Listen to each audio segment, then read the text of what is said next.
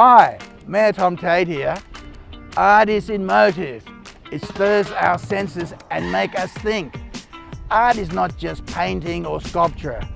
Art is about creativity in all its form, and that's what the Gold Coast Open House program is all about. When it comes to the many great buildings, community spaces and private homes on the coast, we have a great story to tell. The best way to find out come along and be part of the 2022 program. Join one of the guided tours or panel discussions and hear firsthand from the architects and the designers.